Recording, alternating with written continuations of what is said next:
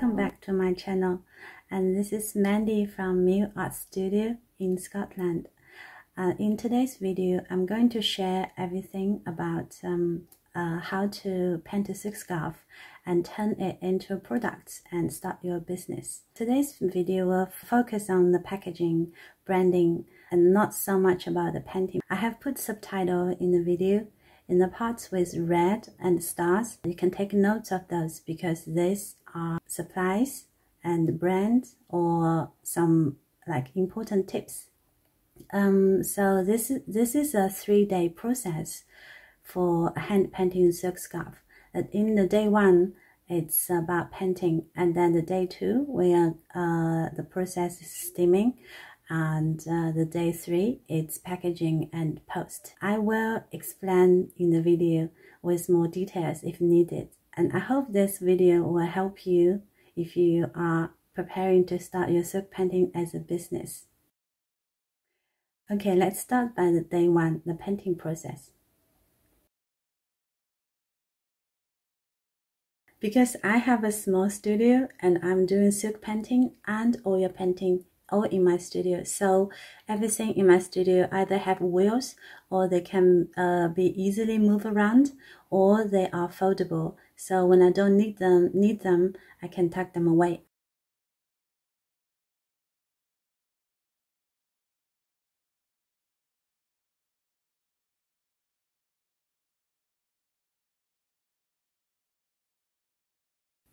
As you can see the frame, uh, I have recorded a different video, just haven't got the time to edit in it.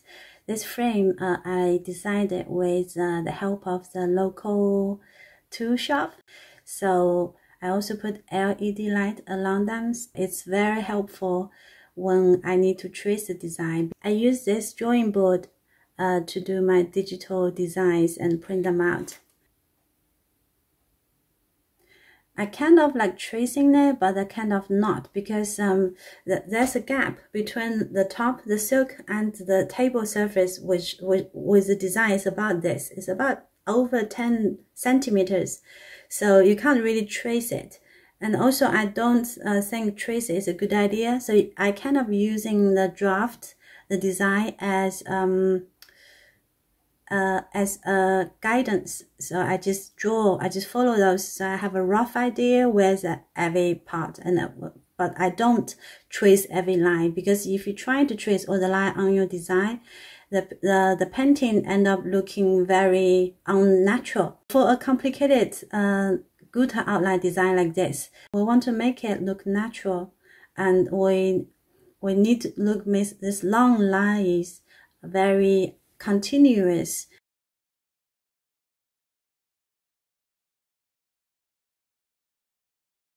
And when I'm doing the coloring I am uh, I, I, I flip it over. If you flip it over you don't want to touch the surface because if you touch the surface then that will make the gutta outline dirty because the surface will some of the color will set on top. So whenever I uh, paint uh, my silk and the surface is always at least like this much um, gap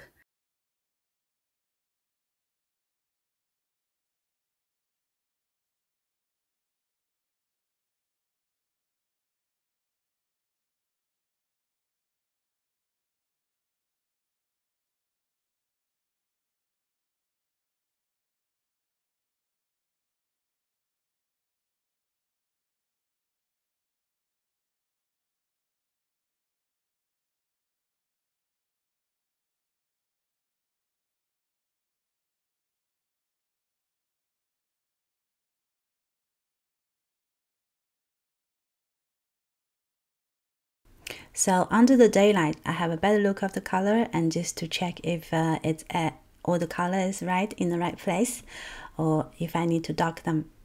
Because with the LED light, it's um, lighter, it, it makes the color looks brighter. And when I finish, I turn it over and we can see all the gutta outlines still very clean and haven't got the any uh, blue on it.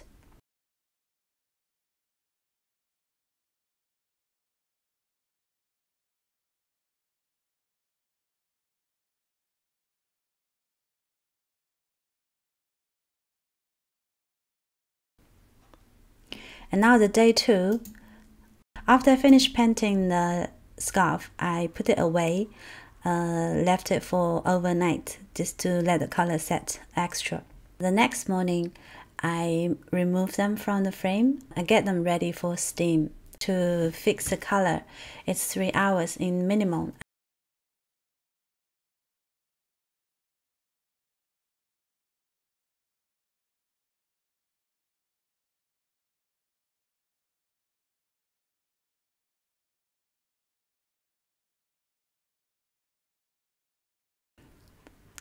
I like to cover my extra raw one with uh, tin foil to make sure no water going in there. If the water, if it get wet before the color set, it will make a mess or marks, the water marks on the silk scarf.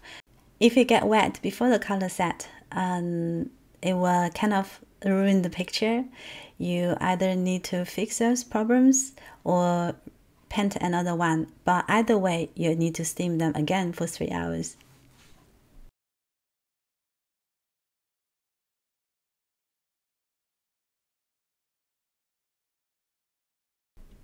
So I just want to make sure it's no water, no water gonna get in there. But even then, still not hundred percent. Um, not, it's really not no guarantee, not hundred percent. Nobody knows what's the steam and the silk going to do in the tube. Once they're there, it's not it's out of our control. What we can control is just um, do our best before we put it in there. I never got a professional steamer. I cannot build this one myself. I just use it. It doesn't look perfect, but it's not about the look, right? It's about uh, how it works.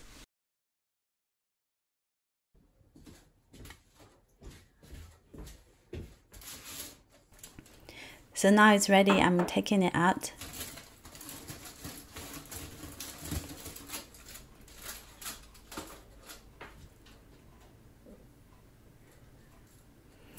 I didn't take out straight away because when it's just finished, uh, it was really hot, so I waited for a little bit.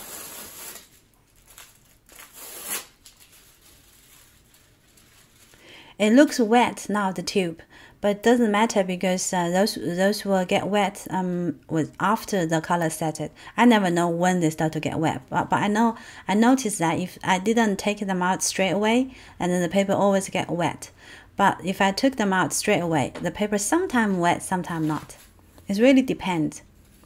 So after the steam, the color become very smooth and the, they blended very well together.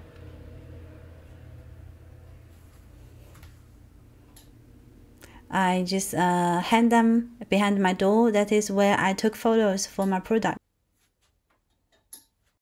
Day 3, I put the scarf under running water really need to need to make sure it's cold water. If you you uh, if you use warm water, the color will come off.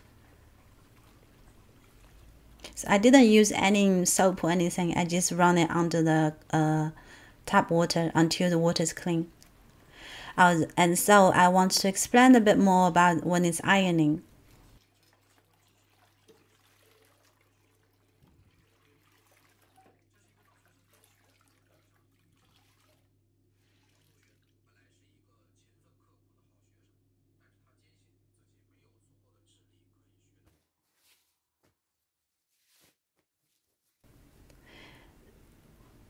As you can see, I just open the scarf very carefully and then just never squeeze your scarf very, very hard because I tried that before and then what I noticed after I, uh, after I squeeze all the water out, but I also kind of uh, damage the silk, the fabric a bit. You can, uh, and after after it's damaged, you can use it. But um, if you're going to sell them, you want to keep them the perfect condition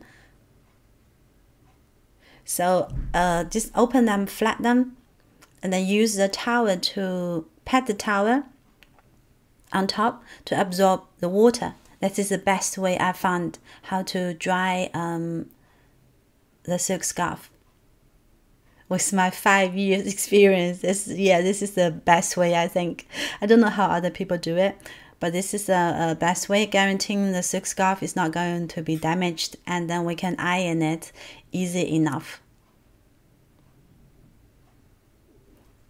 I also tried to dry the silk scarf um, natural with wind in the in, in or on the hanger, but but this is the best way because um, when it's dried and you you're trying to iron it and then sometimes you don't get rid of the uh, crisps crisps I don't know crisps.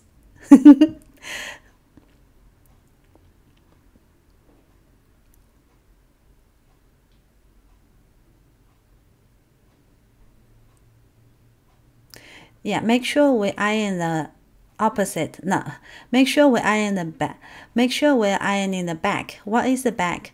It's uh, without the gutta line the like isn't what is the back? I think you can tell when the gutta outline is not the golden um one side the the gutta outline is very shiny and golden and then another side is less shiny and golden and we iron that less shiny and golden side.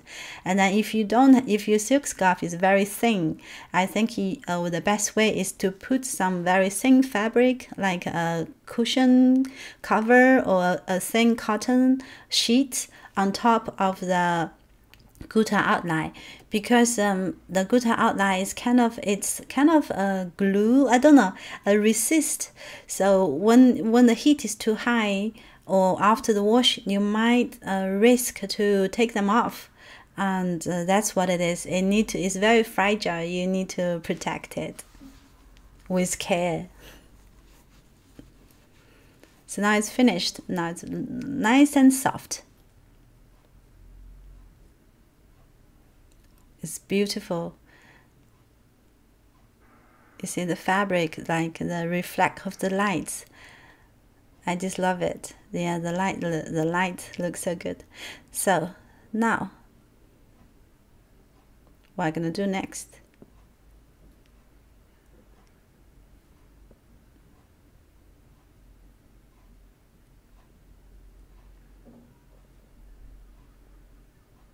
Okay, I'm going to packaging it.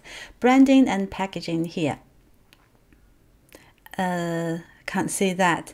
That's it's a corner cutter to because uh, I'm just using A4 car, uh, cardboard uh, sticker paper and then cut them in small size. So I, I use a, cor a round corner cutter to make the, the, the corners, get rid of the corners, make it look a bit smooth and nice. And make a hole in the middle in the middle, on the top.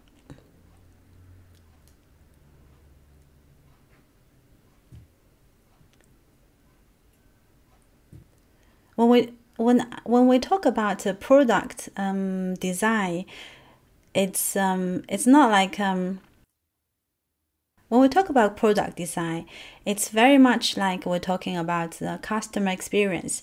So when when we buy something very nice and uh, that a lot of care. People pack it with care and with uh, um, they take their time to make the to present that product. We can feel it, and then when customer hold it in hand, they will not like if you think about when you buy something nice sometimes and you just feel comfortable everything is right and then you don't overthink because when we're a customer we don't really think that much but but then we don't um but we do feel the the actual uh, what's that? The extra work people put in, the effort. I mean, we do we do feel the effort like the seller puts in there.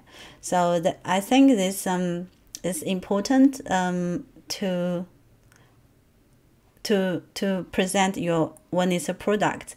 The details are very important. Even you know the customer not notice those, but when we do it, it's there. And also the branding thing is not a one day, two day, one time. Just with time, you will develop how to do it. I use a lot of stickers, but every of my stickers are with my logo on it. And then inside, I have a thank you card, and I have a, a silk care instruction and a receipt. And I also have my my brochure there in the brochure, I have my other products and myself introduction of my studio.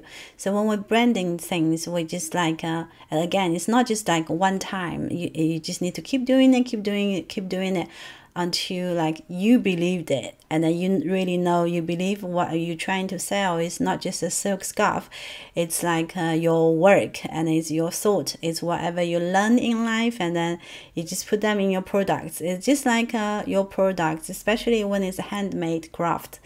It's really very much represent you. So in on my package i have um i have my sticker uh like uh, to say it's a dream about the dreams about the sky make wings want to fly. That is my value of um, of uh, uh, this studio. And at the back i also uh, because i use the um, I, I, I use i reuse those uh, um, craft paper which i used for steam uh, for steam the scarves um, I think it's better to recycle and use it again. So, but I do not want my customer to think I'm just using any piece of old paper. So I made a sticker to say, to explain that. Actually, I'm gonna maybe I can show you that. Um, this is my sticker book. Um, all, all the sticker I need to use is that. So, so here so as so uh, on this label this one is not I don't have my logo on it but uh, just a little bit to show that how I care means my studio and myself I care about the environment so that this but uh, so that's why I reuse that uh, craft paper, which I use for steam the scarf. I said the paper used for packaging is recycled from the scarf making process. So in that way, I can um, um, manage to care about our earth. I think that's important to explain things like that. And it's also important to keep our planet uh, green. That's, that's it. Um, so uh, I hope the tips are useful for you in this video. Uh, if you have more questions, then just email me or leave the leave the comments. I really hope you be able to start your business and uh, to do things you love for a living. Okay, so bye for now and see you until the next time. Bye.